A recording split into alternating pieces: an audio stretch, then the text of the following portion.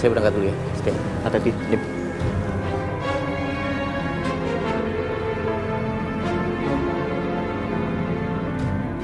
Gimana caranya gue bisa ngomong sama Aisyah soal Hans? Sedangkan Dimas selalu ada di dia.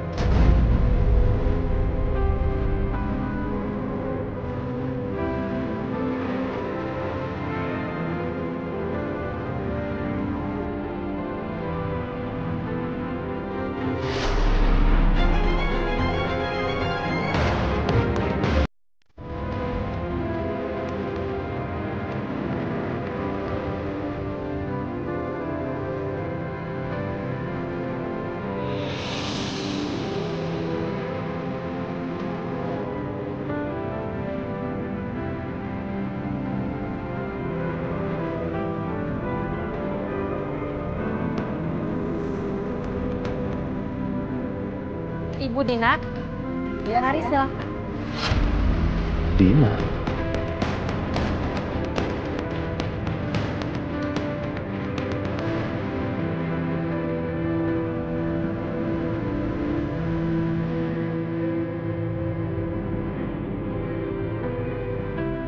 Suaranya kenapa mirip?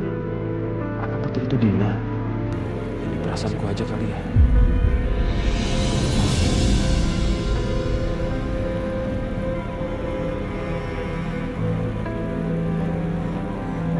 Jadi gimana kondisi ibu saya, Dok? Untuk saat ini, kita fokus saja untuk menjaga kadar gula darah Ibu Dina agar tidak melebihi batas normal. Dan Ibu Dina harus rajin minum obat ya Bu. Karena jika hal itu terus-menerus Ibu lakukan, kemungkinan Ibu Dina buta total akan mengecil. Dan terutama, Ibu Dina jaga pola hidup sehat ya. Makan yang teratur dan olahraga yang cukup. Dan saya juga akan melakukan beberapa tes lagi ya Bu ya. Hanya sekedar untuk memastikan penyakit ini tidak menyebar ke organ tubuh yang lain. Iya dok. Saya minta tolong berikan penanganan yang terbaik untuk ibu mertua saya. Pasti Pak. Biarpun aku rasanya masih kesal sama Dimas, tapi aku bisa apa? Toh semuanya sudah terjadi. Dan dia sepertinya memang bisa menjaga Aisyah dengan baik. Bahkan sama aku aja sikapnya baik sekali.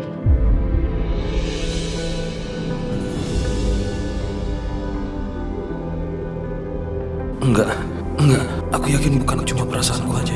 Karena suaranya itu itu suara Dina. Tapi nggak mungkin juga Dina ada di Jakarta. Dan barusan Pak, Ibu Lydia nelfon aku. Masa sih Dimas sama Aisyah dan juga ibunya itu check up ke rumah sakit bersama Pak. Coba kan aneh, masa Dimas bela-belain banget sih buat perempuan itu? Ah, bingung aku tuh nih ada yang nggak beres ini. Jelas-jelas istrinya Bianca, anak kita itu di rumah Pak. Gimana coba? Bingung aku. Tapi kalau bukan dia, kenapa suaranya persis? Ya Allah, apa benar dia memang Dinaku yang dulu?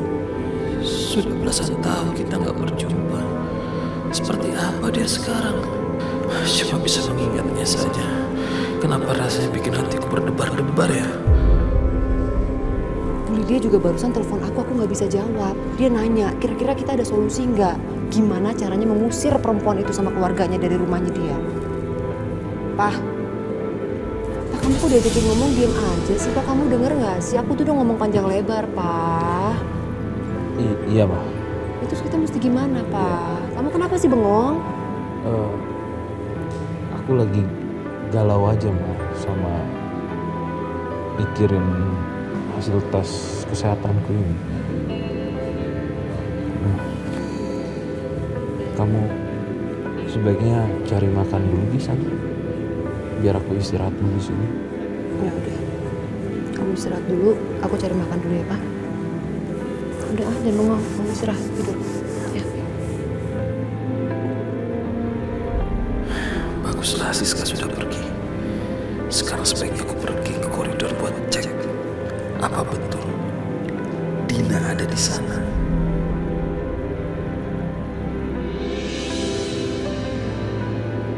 Rasanya aku dengar suara Dina di sekitar sini, tapi kok nggak ada siapa-siapa di sini. Jangan-jangan dia sudah pergi. Coba aku tanya ke resepsionis saja kali ya. Suster, saya perlu informasi. Apakah ada pasien yang berobat di rumah sakit ini atas nama Dina Martanti? Maaf Pak, tapi saya tidak bisa memberikan informasi yang Bapak minta karena itu melanggar privasi pasien. Tolong, suster. Saya mohon, suster. Saya mohon. Tolonglah, suster. Saya cuma pengen tahu aja pasien bernama Dina Martanti itu apakah betul-betul berobat di rumah sakit ini atau enggak. Saya cuma ingin memastikan aja kondisinya. Tinggal suster jawab iya atau tidak. Pak, sekali lagi nggak bisa.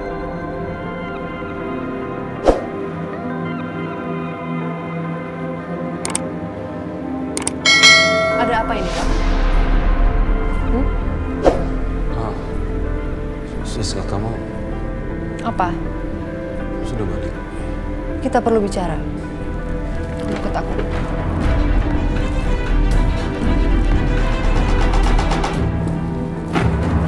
Mas, apa betul Dina dirawat di sini?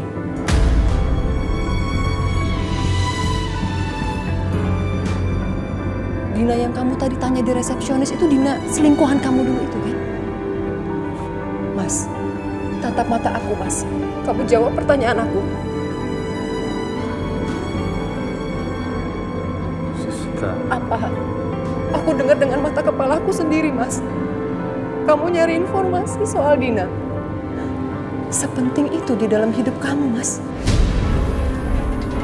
Kamu masih berusaha untuk menemui dia. Hah? Mas, kamu lihat aku, Mas. Aku capek ngurusin kamu. Aku mikirin gimana yang terbaik untuk kesehatan kamu. Tapi kamu malah turun dari tempat tidur sendiri. Kamu pergi ke resepsionis dan kamu cari informasi soal Dina. Sepenting itu dia dalam hidup kamu, Mas. Iya. Kamu jahat sama aku, Mas. Kamu bohongin aku. Mana? Dengar. Katanya kamu bilang kamu udah gak pernah mikirin dia lagi. Kamu sayang sama aku. Mana? dengarkan aku dulu. Apa yang mesti didengerin, Mas? Semuanya udah jelas sekarang di depan mata aku, Mas. Hei, Mas, kamu ingat karma yang terjadi sama Bianca itu akibat perbuatan kamu. Kamu tega, Mas. Membiarkan Bianca anak kita sendiri untuk bisa mengalami hal seperti itu. Oke. Atau mungkin kita sudah harus berhenti ya untuk mengganggu Aisyah.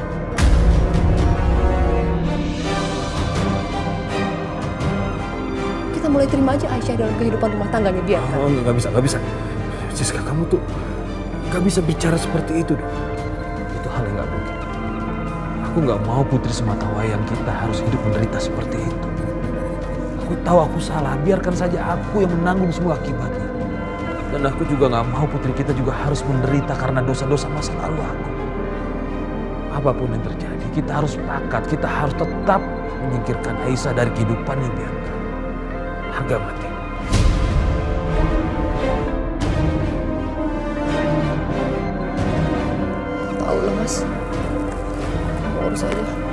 Ngomong sama kamu. Ma. Mama.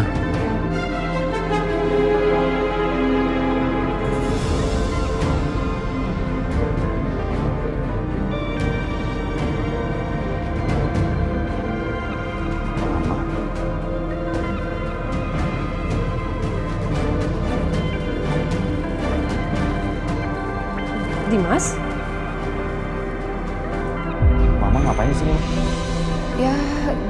Papa mertua kamu tiba-tiba hidungnya mimisan. Makanya mama anterin ke rumah sakit dan lebih baik dirawat di rumah sakit aja. Tadi sudah dilakuin beberapa tes. Mudah-mudahan aja hasilnya nggak kenapa-napa sih. Terus kondisi papa gimana, Ma? Kamar berapa? Aku mau lihat papa. Eh jangan jangan jangan. Nggak usah Dimas. Eh, papa lagi istirahat. Biarin aja dulu. Kita doain semuanya baik-baik aja ya. Alhamdulillah. Kamu di sini ngapain Dimas? Aku lagi nemenin ibunya Aisyah untuk periksa ke dokter, Ma.